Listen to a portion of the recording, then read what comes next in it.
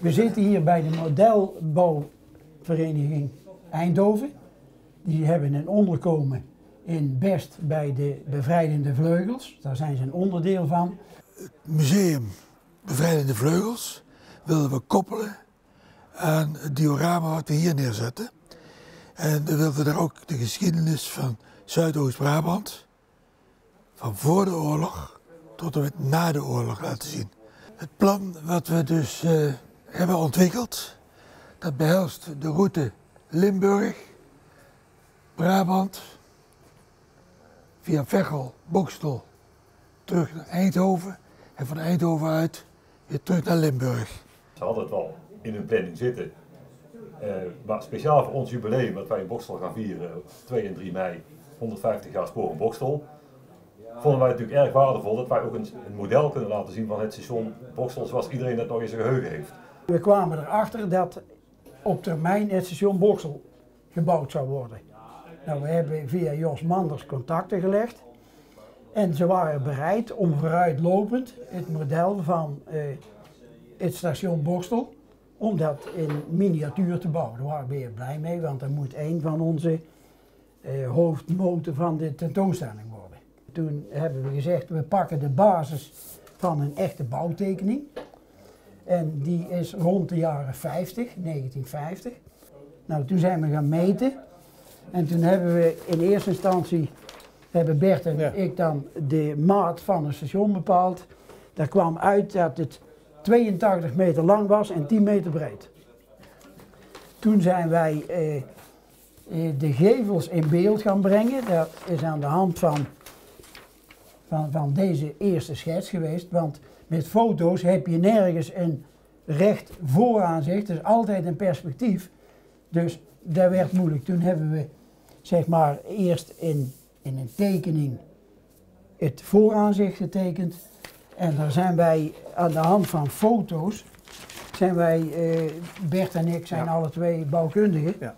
zijn we gaan kijken aan de hand van lagen tellen, hoe de hoogte en de verhoudingen van eh, zeg maar een, een fragment van de gevel is. Dan heb je een basis en later ga je allerlei toevoegingen doen die we dan in overleg met Mike elke keer bepaald hebben. Jacques kwam op een gegeven moment met deze foto. Op die foto had hij afmetingen erbij gezet. Dit is een van de belangrijkste, dus zo niet de belangrijkste basis voor het geheel. En deze foto die toont eigenlijk beide perrons, plus die voorgevel, werkelijk op schaal. Ik had hier echt daadwerkelijk maten.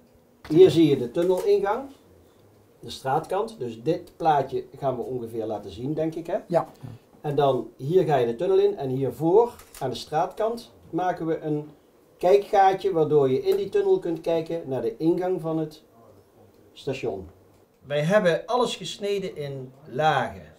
Dus daar waar tympanen komen, zoals dit, of uh, friezen komen, zoals dit, hebben we een doorsnede gemaakt. Dus we zijn hier echt die friezen gaan doorsnijden. Om dieptewerking te krijgen? Je krijgt dieptewerking, ja. Je krijgt een, uh, een perspectief. Een toplaag en twee lagen karton. Een toplaag en één laag karton. En het kozijn gaat door de achterwand heen met de vensterbank naar voren. Dit is het uh, project Bokstel. Hiervoor kun je de voorgevel zien. Ik zal hem even inzoomen. Ik stuur hem nu naar de lasermachine. En dan vraagt die lasersnijder aan mij welke vermogens ik moet toekennen aan elke laag.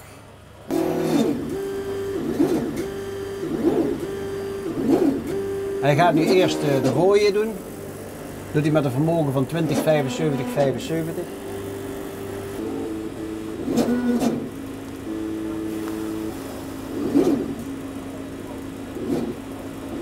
Elke lijnkleur heeft een gradatie ten aanzien van het vermogen.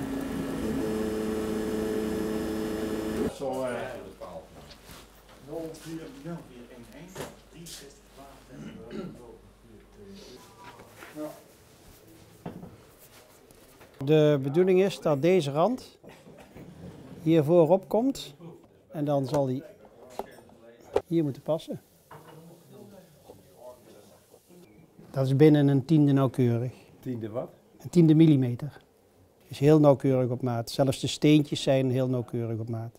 En de dakpannen zijn ook schaal 1 op 87. De tegelvloer die hier ligt, die hebben we ook uh, op schaal gemaakt, de tegels. Het patroon wat erin ligt is uh, exact hetzelfde zoals we op de foto's hebben gezien. Dit is het trapje. Dit is de ingang van het station. Het is zoveel mogelijk gemaakt zoals de foto's weergeven. En die komt hierop. Is het hekwerk wat dadelijk hier langs komt. Dit is een, uh, een kijkgat om de onderdoorgang naar het station te kunnen zien. We maken daar verlichting in. Dit was een doorgang. Van het ene perron naar het andere. Open. Hier komt er dadelijk het perron overheen. De Pegasus paardjes, de ondersteuning. Dit is uh, 1 mm MDF. We hebben twee lagen op elkaar gezet. Dit zijn uh, seinpalen van de Nederlandse spoorwegen van uh, na 1938. Hierachter zit een, uh, een ledlampje. Dat ledlampje dat, zit aangesloten aan de ene kant aan het chassis. En aan de andere kant loopt hij door het paaltje naar beneden toe en dan zit hij aan een voedingje van 5 volt. Het programma is in staat om volledig automatisch die treinenloop te besturen dan kan je kiezen of, of dat random is, dus willekeurig. Dat treinen dus zelf een vrij blok zoeken en daar naartoe gaan rijden. Of je kunt treinen een vaste route geven. Zeg van nou, dit is een pendeltrein, die moet altijd van station Veghel naar station Gennep en dan weer terug. En op een gegeven moment komt er een trein eh, in de buurt van spoorwegovergang. Dan geeft koploper een signaal naar dit computertje.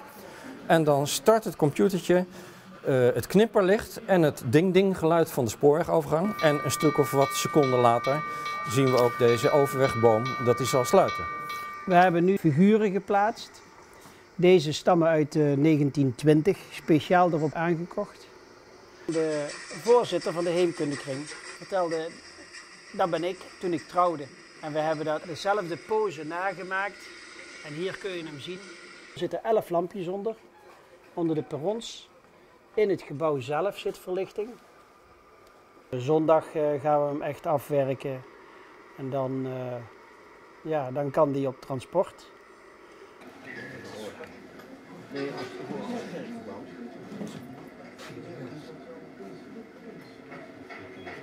Jos, toen wij de eerste keer elkaar ontmoetten en over het station Borstel hadden, hadden we niet kunnen denken dat dit het eindresultaat zou worden.